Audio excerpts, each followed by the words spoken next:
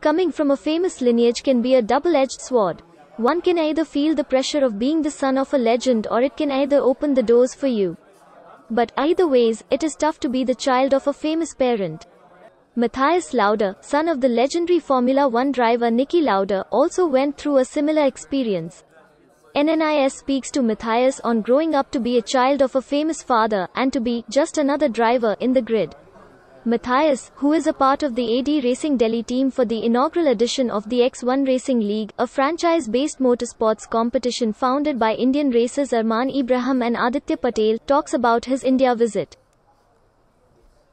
I mean, I've, I've, I know about India since I'm a little kid, movies and stuff like this, but it's always a country that I wanted to, to visit, especially all the coasts from India. I, I, would like to go with a bit more time because I'm also, uh, beside racing, my big passion is uh, surfing, and I know India has some, some good waves. So hopefully after the race here in Delhi, I have a bit of time that I can go surfing in, in Chennai.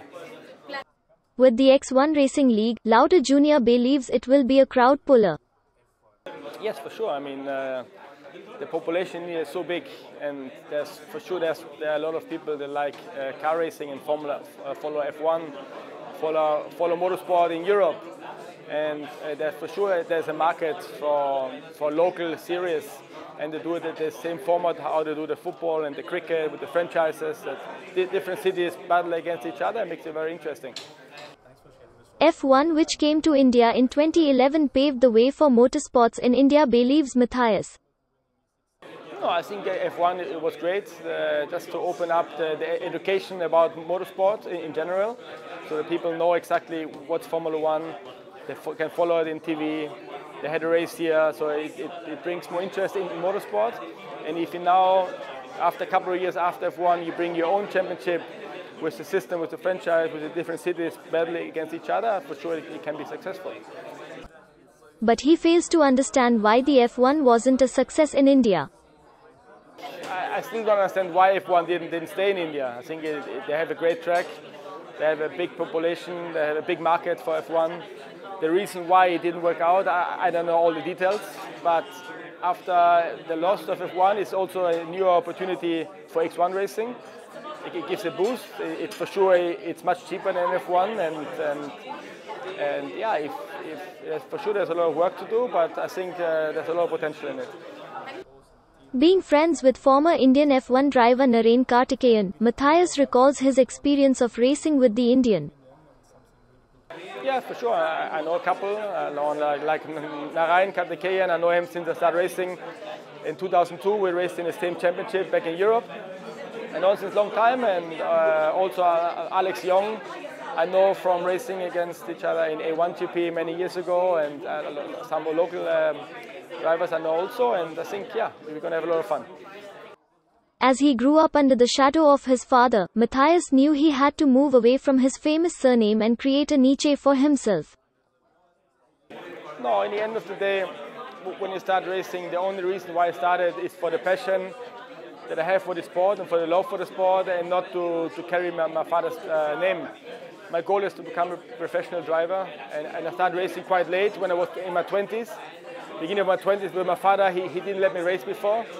But in the end, uh, yeah, Uh, it, it, makes you more hungry. If you're not allowed to do something, it makes you work harder. And in the end of the day, the, the name does make you faster. Talking about his father, who was hailed as one of the F1's all-time greats, Mathias said.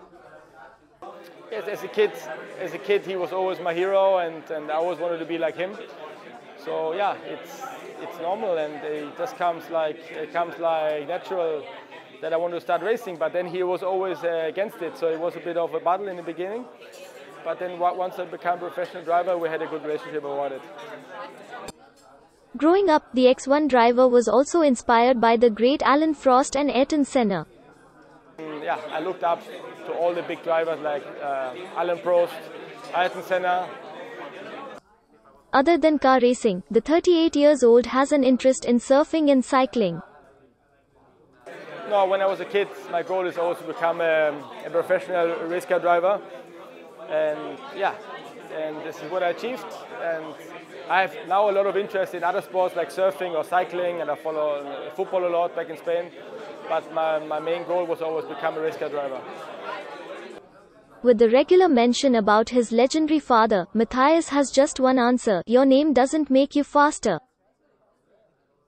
No, for me it's for me it's I didn't care much. My, my only goal is to do what, what I love the most and to do it well and work hard. The name does make you faster. It helps maybe in the beginning a little bit, but then you're just one more driver in the grid.